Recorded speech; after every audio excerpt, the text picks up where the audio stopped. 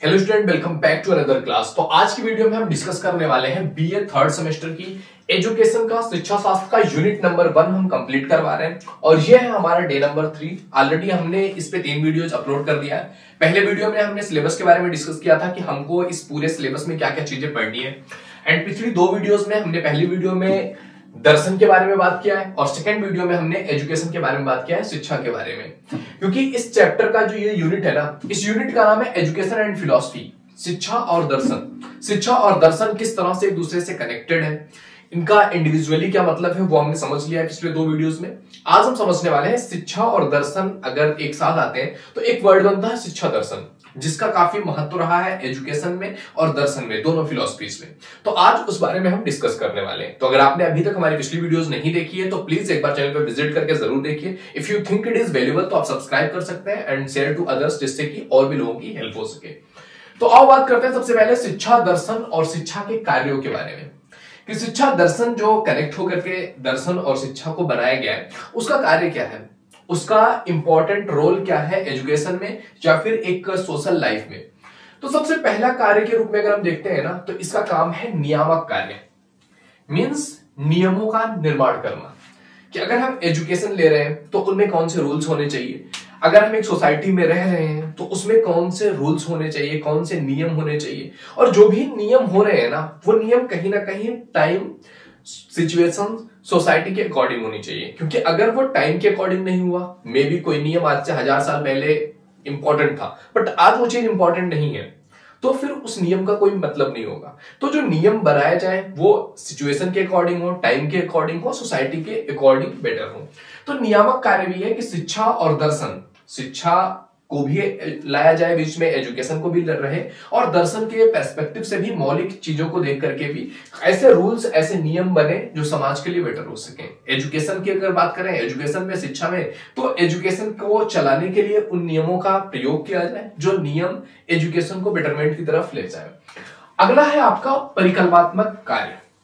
परिकल्पात्मक कार्य में क्या होता है कि जब कोई चीज़ चल रही हो मे बी एक सिस्टम चल रहा है। लेकिन आगे आने वाले टाइम में मे भी कुछ चीज़ें चेंज होने की रिक्वायरमेंट है। तो आप वो चीज़ें परिकल्पना की जा सके कि हाँ इस चीज़ में यहाँ पर ये बेटरमेंट की ज़रूरत है, जहाँ पर यहाँ ये चीज़ें ठीक की जा सकती हैं। इस सिस्टम में ये थोड़ी सी प्रॉब्लम है, इसको हम ठीक करके इस तरह से कर सकते हैं।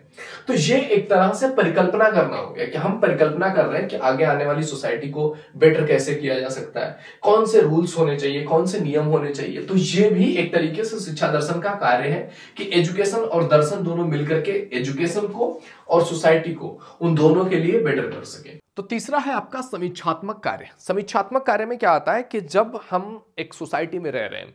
तो शिक्षा दर्शन का ये कार्य है कि वो हमारी सोसाइटी को भी देखे और आसपास की जो अदर सोसाइटीज़ हैं, उनको देखे कि उनमें क्या चीज़ें हैं जो हम में नहीं है, हम में कौन सी कमियाँ हैं या कौन सी चीज़ वहाँ से अच्छी है जिसको ला करके यहाँ पे इम्प्लीमेंट किया जा सकता है। तो समीक्षा करना है बेसिकली मे बी अगर आप इंडियन सोसाइटी की बात कर रहे हो या इंडियन एजुकेशन की बात कर रहे हो तो इंडियन एजुकेशन में ऐसी क्या कमी है जो हमें वेस्ट से लेके आना चाहिए अपनी एजुकेशन में? वहाँ से सीखना चाहिए यूरोपियन कंट्रीज़ से सीखना चाहिए कि वहाँ पर ऐसा क्या है जो लोग इतने पैसे दे करके वहाँ पर एजुकेशन लेने जा रहे हैं।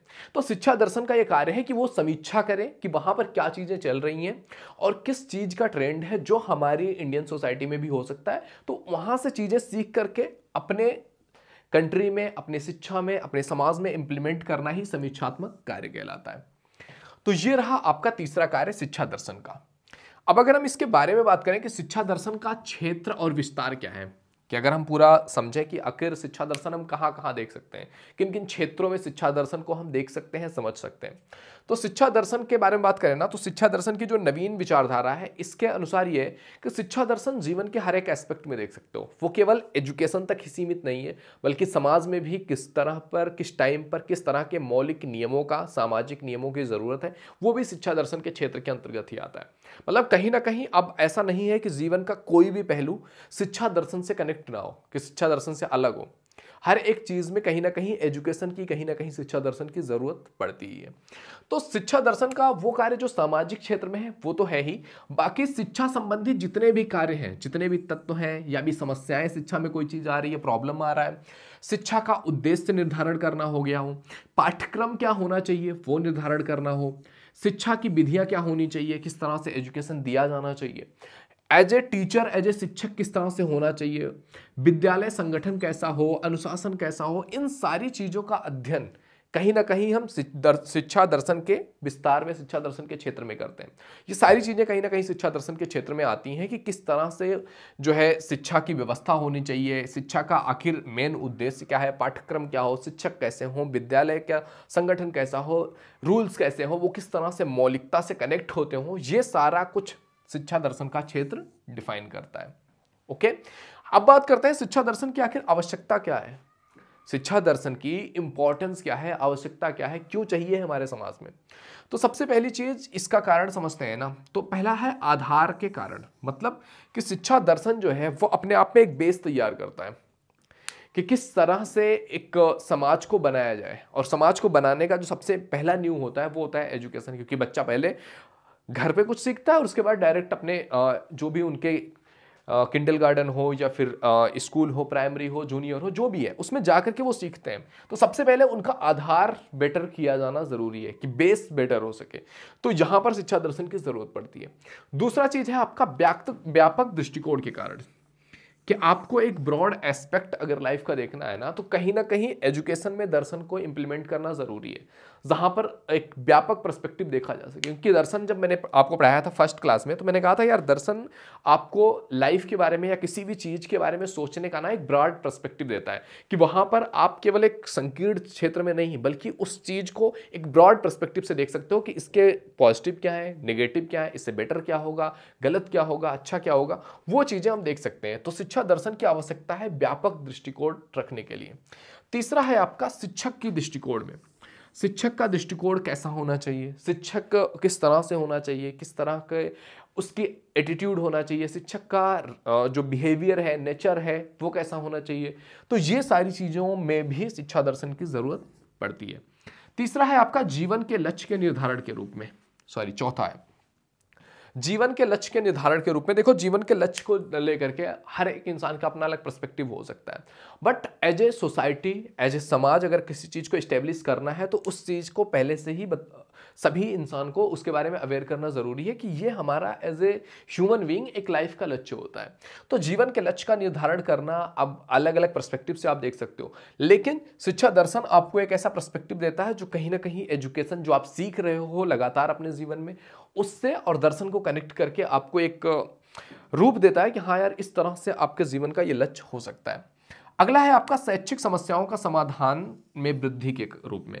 मतलब शिक्षा में कोई समस्याएँ आ रही हैं, कोई प्रॉब्लम आ रहा है कि इस तरह से एजुकेशन देने में बच्चों को समझ नहीं आ रहा है, या वो इससे लर्निंग कम ले पा रहे हैं, कम सीख पा रहे हैं, या इस, ये लर्निंग उनके लाइफ में इम्प्लीमेंटेशन के रूप में काम नहीं करेगी। तो क्या करना चाहिए ऐसा जिससे कि जो उनकी जो समस्याएँ हैं, जो भी प्रॉब्लम्स आ रही है मे भी कुछ है, कुछ ऐसी चीज़ें पढ़ा रहे हैं, या इस तरह के एटीट्यूड से पढ़ा रहे हैं, या इस तरह के नॉलेज से पढ़ा रहे हैं, जो उन्हें समझ नहीं आ रहा है बच्चों को तो उनकी जो समस्याएँ हैं, उनका समाधान करने का काम भी कौन करेगा? शिक्षा दर्शन। अगला है अनुशासन की दृष्टि से मतलब एक समाज को, एक मे बी स्कूल है, विद्यालय है, या फिर समाज है, उनको किस तरह के अनुशासन में रहना चाहिए जो उनकी मौलिकता से भी कनेक्ट होता हो?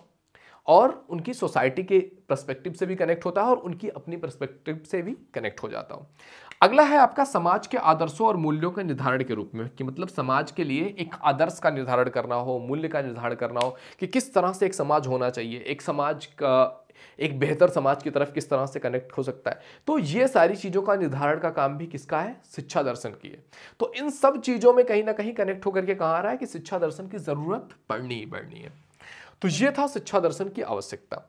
अब अगर हम इसके उद्देश्य के बारे में बात करें तो कहीं ना कहीं उद्देश्य भी किसी चीज़ का, की जो ज़रूरत होती है ना हमें, वो उन्हीं ज़रूरतों को पूरा कर रहा होता है। तो उसके उद्देश्य में भी अगर हम देखेंगे तो उसका उद्देश्य भी यही होगा कि हम ये ज़रूरतें पूरी कर रहे हैं।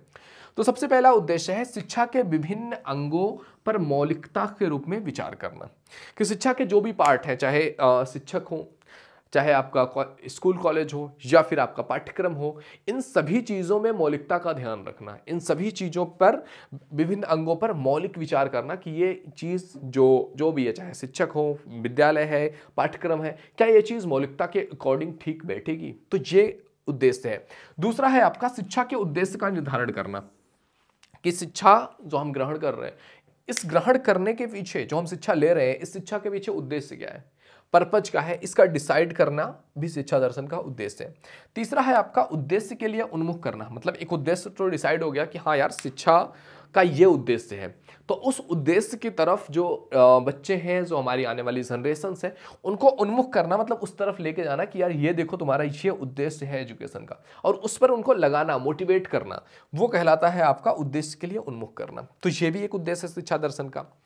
चौथा उद्देश्य है शिक्षा दर्शन का कि जो हमारा देश है, हमारी समाज है, उसकी अपनी कुछ संस्कृति है, अपना एक कल्चर है, उस कल्चर की सुरक्षा करना। और कहीं ना कहीं जो ये चीज़ शिक्षा के उद्देश्य का निर्धारण किया जा रहा है या शिक्षा के अलग अलग अंगों में मौलिकता लाई जा रही है, ये मौलिकता आती कहाँ से ये आती है हमारे कल्चर से। मे भी कुछ चीज़ें हमारे लिए अच्छी हो, मे भी वही चीज़ वेस्टर्न कल्चर में आप देखोगे कि नहीं नहीं, उनके लिए तो बड़ी गंदी चीज़ है, बुरी चीज़ है। मे भी वेस्टर्न कल्चर में कुछ चीज़ें हैं जो उनके लिए बेटर है बट हमारे लिए हो सकता है कि नहीं यार it is not acceptable in our society तो दैट्स अ थिंग कि यार हमारा जो देश है, हमारा जो समाज है, उसकी संस्कृति की सुरक्षा करने का काम भी शिक्षा दर्शन का है। अगला है आपका अनिश्चितता में मार्गदर्शन करना भी शिक्षा दर्शन का ही उद्देश्य है। मे भी कुछ ऐसी सिचुएशंस आ रही हैं जो आज से पहले नहीं आई हैं। तो इन सिचुएशंस पर जो सोचना है, इन पर थिंक करना है, वो कौन करेगा? दर्शन शास्त्री करेंगे, दार्शनिक करेंगे। कि इस सिचुएशन में सबसे बेस्ट तरीका क्या हो सकता है जिससे हमारा कल्चर भी सिक्योर रहे और हम आगे भी बढ़ सके? इस, जो प्रॉब्लम आई है, इस प्रॉब्लम का हम सोल्यूशन भी ला सके। तो इसका काम भी कौन करता है? शिक्षा दर्शन। तो ये सारे शिक्षा दर्शन के कहीं ना कहीं उद्देश्य आते हैं। तो ये था हमारा डे नंबर थ्री जिसमें हमने शिक्षा दर्शन के बारे में और उसके कार्य, उसका क्षेत्र, उसकी आवश्यकता और उसके उद्देश्य के बारे में डिस्कस किया है। अगली वीडियो में हम डिस्कस करने वाले हैं कि शिक्षा और दर्शन किस तरह से एक दूसरे से कनेक्टेड है और इनमें डिफरेंसेज क्या है। ये हम डिस्कस करेंगे अगली वीडियो में तो आई होप ये वीडियो तुम्हें समझ में आया होगा। वीडियो पसंद आए तो लाइक ज़रूर कीजिए। पहली बार इस चैनल पर आए तो please visit the channel if you think it is valuable तो आप सब्सक्राइब कर सकते हैं एंड आने वाले वीडियोज़ का आपको नोटिफिकेशन मिलता रहे। इसके लिए चैनल को सब्सक्राइब करके बेलाइकन ज़रूर हिट कर लीजिएगा। ओके मिलते हैं आपसे अगले वीडियो में। बाय